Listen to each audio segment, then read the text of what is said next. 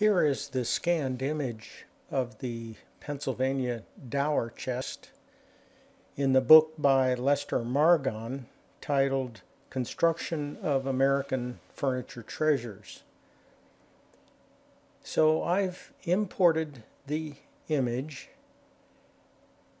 that it was scanned uh, out of the book and I've sized the image and then I scaled it up by a factor of 10. That helps a little bit in doing the very small arcs to reproduce these shapes of decorations of the painting. So the, the times 10 scaling does improve that. I've also set a style that's a little bit different when I do this type of tracing over.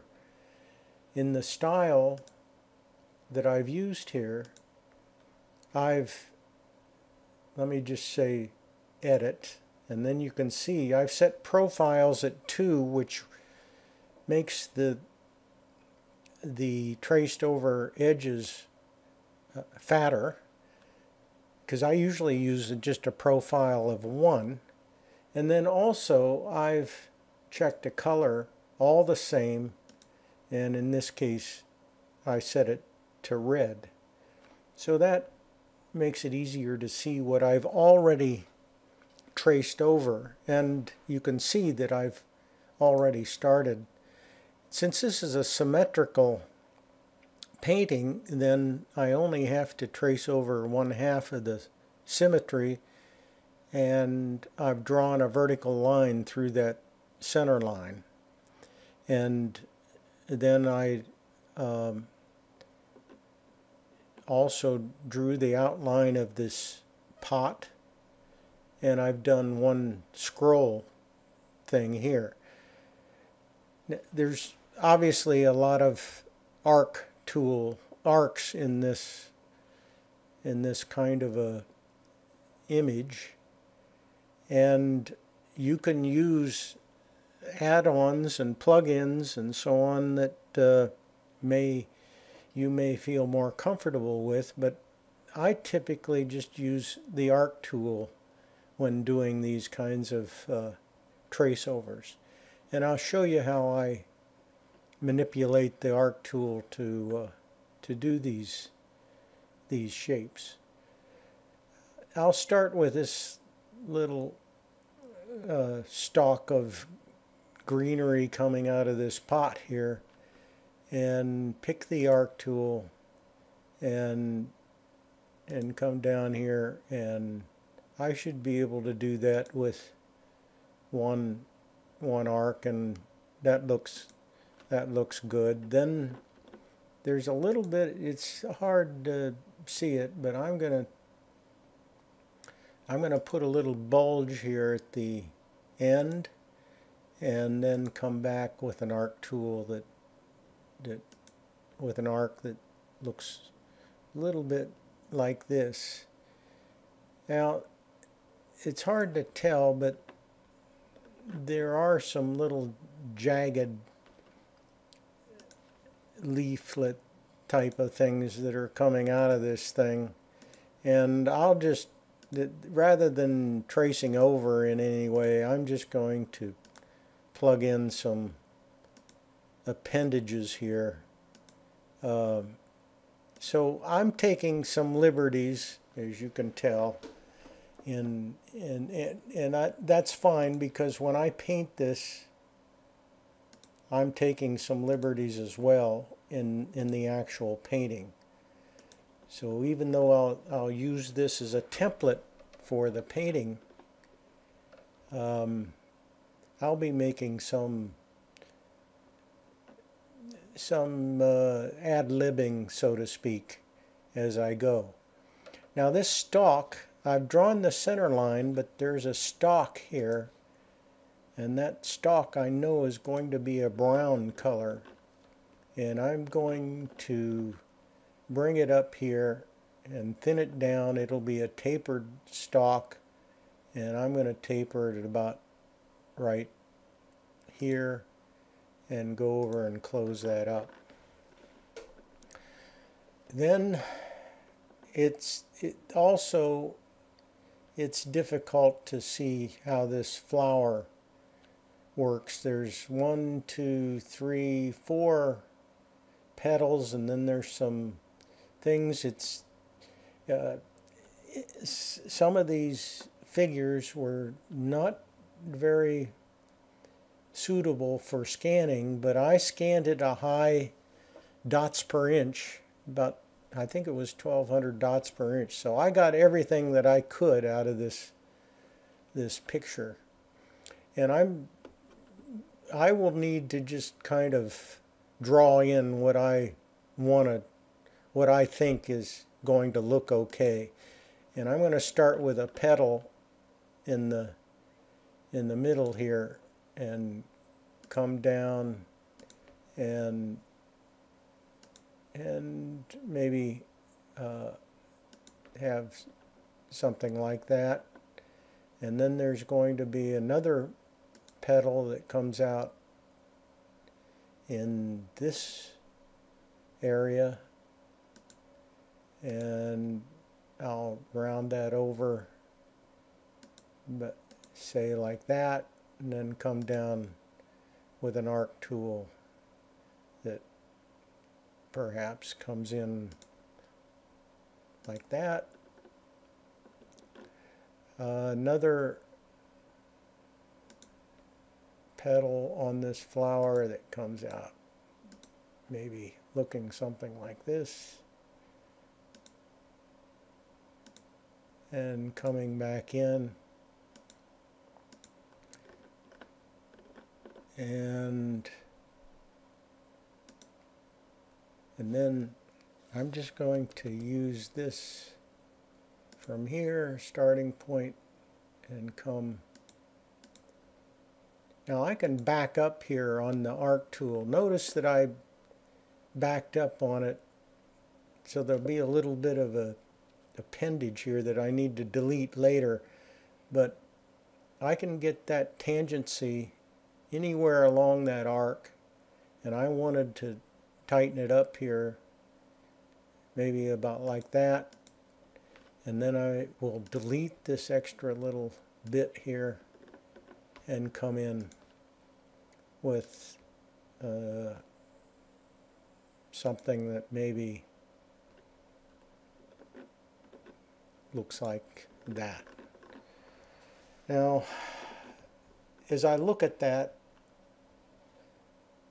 I need, well, I also need these little V's that come up here. And then there's another V that comes up here. Um, so I make I may make some adjustments later on something like that, but it's good for now. Now here's a little scroll work here and I'm going to start a arc about like this stop it there and then come around and stop it there and come around.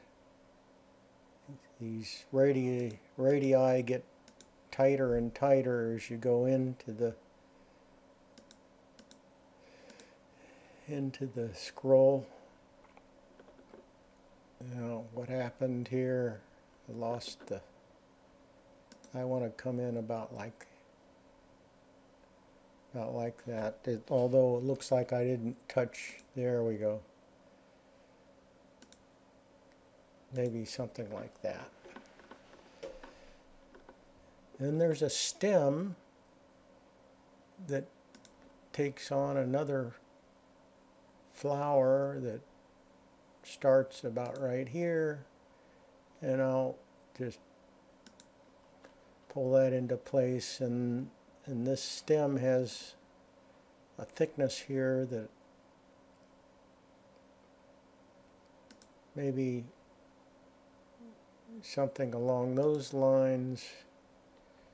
Um, now usually there's a little bit of a I'm going to come across maybe about like that to end the stem and now I'm going to need to go uh, a little bit further with that. So I'm going to come out maybe about that far with the with the stem. And then I'll start these little petals again.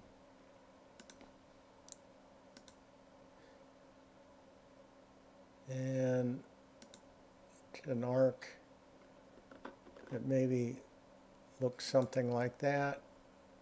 The petal comes out maybe about there and comes back in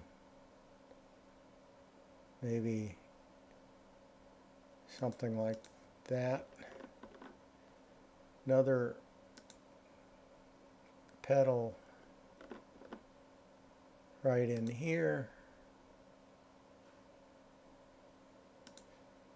I'll probably have to edit that one. I'm looking for that tangent cyan color and coming back maybe like that.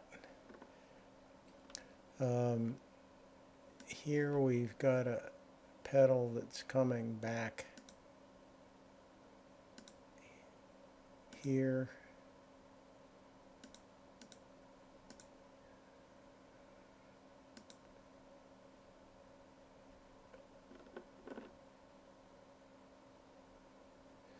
And where's my tangent? And we got a, another one that comes out here.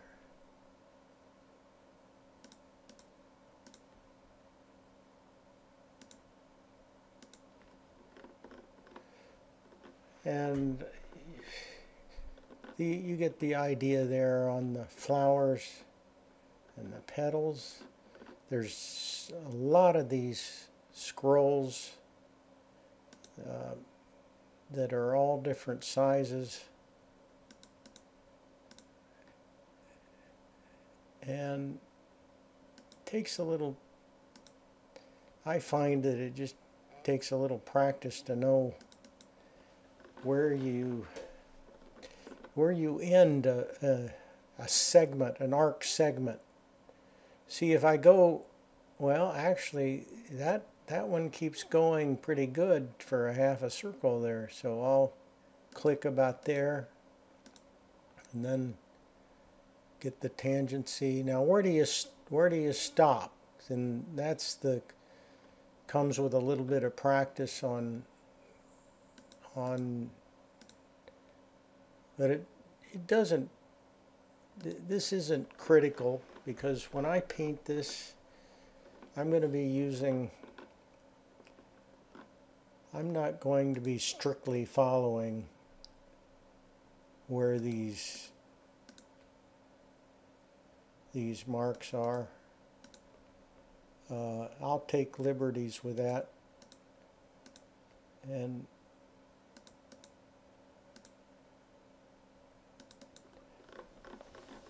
and so on. So you get the idea. Sometimes I need to turn on x-ray because that'll let me see inside this pot, for example, there's a there's a little let me see if I can do an offset here. There's a little offset, but I'm from here to here to here to here. Let me see if I can get a little offset on this. Maybe something like that. And then an arc shape that comes in. Let's see if I can do it one arc. Yeah I think so. So there's the handle then.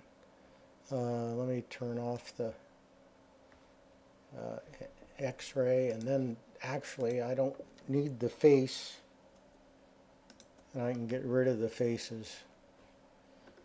Uh, so after I copy, after I print, after I draw over, trace over all of these shapes, then I'll copy that. I'll make it a group probably and then copy it.